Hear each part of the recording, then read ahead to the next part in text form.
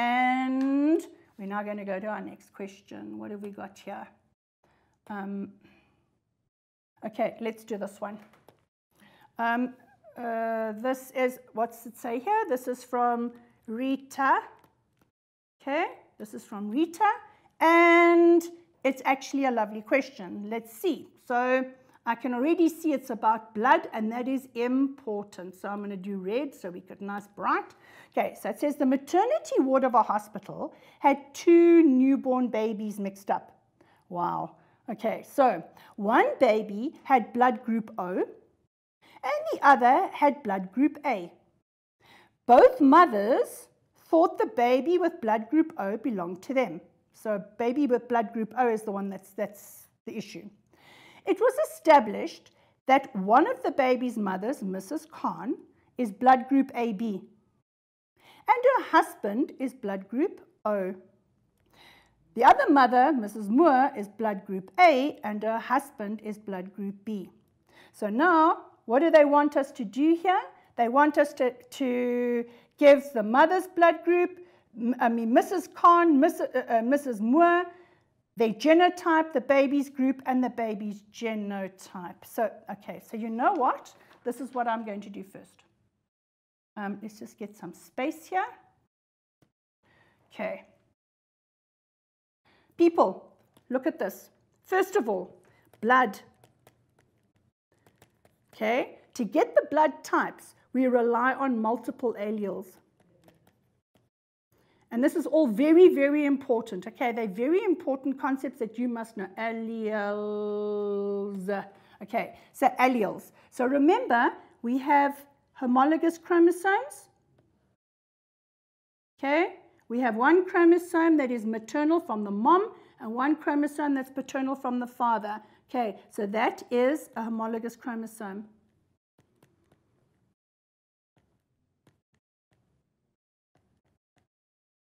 Okay, now you're going to have genes that sit in the same position for the same thing. Those are going to be your alleles. So when we talk about multiple alleles, we're saying that there are more than two alleles Okay, there are more than two for a specific trait. In this case, for blood. So the multiple alleles we've got, that is for blood group A. This is for blood group B. And then we have this for blood group O. So how do we work this out? Because that's what it is. So if we go blood groups, I mean blood groups, these are our alleles. There's A, B, and, and, and this little I. So how does it work? So for blood group O, we have two recessives. Oh, mind you, let me do this first. Okay, let's just, let me do this in, in okay, so A and B are codominant, which means that if someone has blood group A, B, they have one allele from A and one allele from B, and they dominate equally. All right. And this little one here is recessive, which means you need two for that trait to come through. Uh, for trait to be expressed. Okay, because it's recessive. Whenever you have a recessive trait, you always need two. Okay, one from each parent for that recessive trait to be expressed in the phenotype. Okay, now, um, uh, we have blood group A, blood group, oh my man, what am I doing? I need space. Got AB. So we've got blood group A, we've got blood group B, we have blood group AB and we have blood group O. Those are the different blood groups that we have in the world. All right. What is, so that's the, that, this is the phenotype. So what is the genotype? So your genotype is going to be for A, it's going to be or, okay, why? Because this is recessive. Right, for blood group B, we have the same. Or AB is simply A and B. So we have those two alleles. And O is going to be the two recessives. Now, going back to our question, okay, this baby with blood group O is going to be, when they ask for the baby's genotype, the baby's genotype is going to be, so baby O is going to be and, uh, um, and the baby with blood group A is going to be either that or that. Okay, so homos, uh, heterozygous A or homozygous A. Okay, so now I want to show you this. Let's do a little quick cross. Okay, um, let's say, mm, let's do it like this. So we're going to do the Khans here. All right, and here we're going to do, what was it? The, what was the surname of the other parents? Moore, okay? And we have the Moores here. All right, we have Mr. Khan and Mrs. Khan, and we have Mr. Moore and Mrs. Moore. Okay. So if we do the P1 and we look at the phenotype,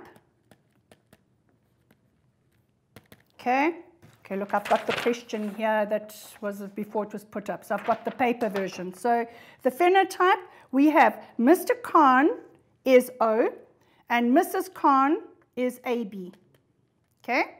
We have Mr. Moore is B and Mrs. Moore is A. All right, if we look at their genotype, based on what I've just told you about our blood groups here, okay, we're going to have Mr. Khan is definitely that. Mrs. Khan is A, B. Um, Mr. Moore is B, so he can be, or he can be, and Mrs. is A, so she can be this, A, or she can be so homozygous A or heterozygous, homozygous B or heterozygous. Mrs. Khan can only be AB. And Mr. Khan can only be little i, and little i. So tell me something. If we look at our babies, our babies are A and O. So this baby here, in order to get the two recessives, there is no way the Khans can be the parents. Why? Because there is no I here to make, because this baby for O needs one from mom and they're going to need one from dad. And if they don't have that I from mom and I from dad, well, they can't, it can't be possible. So an AB blood group, there is no I. There isn't one. So the Khans are they have the child, the A baby, and the Moores are going to have, look here,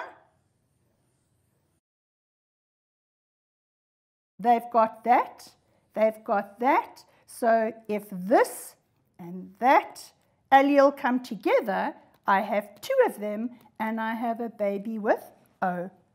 All right, so what is the result in our table. Okay, let's see. We said the Khans, because they have, let's do a different color here so it's darker for you to be able to see. So let's do a nice royal blue. Okay, here. So the Khans are O and AB, which means they cannot have a baby that is O. Their baby's blood group must be A. All right? And if the blood group is A, it means the baby's genotype is going to be A, I. It's going to be this one here. All right. And which means the Moores have the baby with blood group O, which means the baby's genotype is that. Now, let's look at the moms. They say mother's genotype, easy. Mrs. Khan is AB. And Mrs. Moore well, she has to have that there in order to give it to her baby because one came from, from Mr. Moore um, and one had to have come from mom. Otherwise, that is not possible. So Mrs. Moore must be 1A and I. So that's her genotype there. So all you have to do, people, is remember that you need two recessive um, alleles to express the recessive trait. Okay. Whenever you have um, a complete or incomplete dominance, what happens? You're going to have the, the, the dominant allele masking the recessive allele. But in blood, that's not the case. Why? Because there are multiple alleles. So you're going to have the, the A and B are co-dominant, and, and, and your two little I's are without a doubt. Your O is without a doubt. Two recessive, done and dusted.